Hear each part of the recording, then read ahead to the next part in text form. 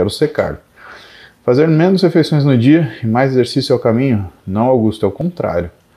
Você tem que pegar o que você come, distribuir mais refeições. E se você fizer mais exercícios, é uma forma. Eu gosto muito. Quando você faz, por exemplo, duas sessões de exercício por dia, você simula uma dieta low carb.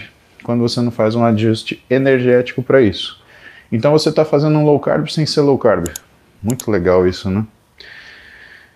Eu aconselho que se você tiver disponibilidade para fazer isso, isso que seja feito. Por quê? Você vai conseguir o efeito do emagrecimento sem que você perca massa muscular, que é muito legal, tá?